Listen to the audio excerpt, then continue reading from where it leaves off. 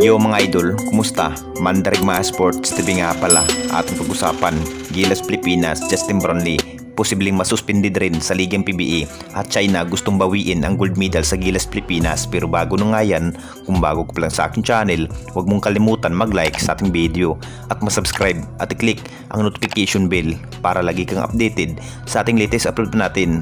Pero ating talakayin una natin pag-usapan. So alam naman natin lahat mga idol, matapos nakuha nga ang malaking panalo ng ating national team ng Gilas Pilipinas, sobrang nakakagulat nga na pangyayari ng ating naturalized player ng Gilas Pilipinas na si JB mga idol dahil napasitive na nga itong ating bis import at may inamin pa nga si JB mga idol.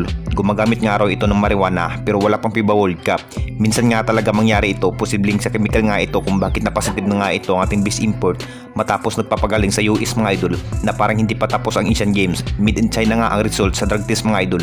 Walang magawa nga ang Gilas Pilipinas dahil sila pa naman ang host country sa Asian Games. Alam naman nating lahat mga idol, parang hindi katanggap-tanggap nga na China mga idol ang kanilang pagkasaklap sa pagkatalo ng kamay ng ating national team na Gilas Pilipinas sa Asian Games. Dahil si JB nga talaga ang hero ng Gilas Pilipinas kung saan nakuha nga ang gold medal hindi pa rin sang-ayon ang karamihan mga idol.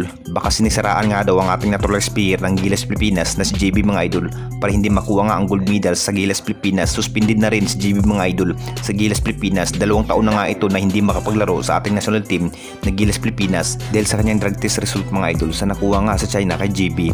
Nakakaawa nga ang ating national team dahil si JB pa naman ang hero ng Gilas Pilipinas. Siya nga talaga ang dahilan kung bakit nakuha nga ang gold medal. Ito na siguro ang masamang balita para kay Brownlee mga idol.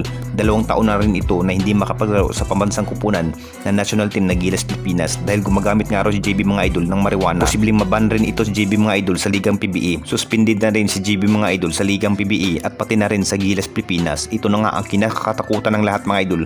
Baka makatulad nga ito kay Kipi Rabina. Dalawang taon na nga ito na hindi makapaglaro sa Gilas Pilipinas at pati na rin sa PBA mga idol. Kakabahan na nga ang lahat dahil nangyari na nga ito kay JB mga idol. Baka maban rin ito sa Ligang PBA at pati na rin sa China mga idol at dito na naman tayo sa isa pa nating balita. China gusto pang bawiin ang gold medal sa Gilas Pilipinas. Ito nga ang China mga idol na parang hindi katanggap-tanggap nga ng China mga idol ang kanilang pagkasaklap sa kamay ng ating national team sa Asian Games matapos gumawa nga si JB mga idol ng panibagong history at natalo nga ang kupunan ng China mga idol sa Asian Games. Parang sinisiraan nga ang Gilas Pilipinas sa panibagong history sa Asian Games. Alam naman nating lahat mga idol, daming reklamo nga ang China. Parang gusto pang bawiin ang gold medal sa Asian Games pati na rin si Yao Ming mga idol. Sabi pa nga ng China mga idol hindi nga raw karapat dapat na panalo ang Gilas Pilipinas sa Asian Games dahil kay Justin Brownlee iba talaga maglaro ang ating naturalized player ng Gilas Pilipinas kung saan natalo nga ang China sa Asian Games.